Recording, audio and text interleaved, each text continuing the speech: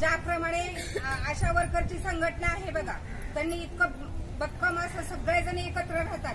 म्हणून त्यांच्या पत्रात काहीतरी पडलेला आणि म्हणून मला वाटतं की आपली महिन्याची पगार जाऊ दे दोन महिन्याची पगार जाऊ दे. काय?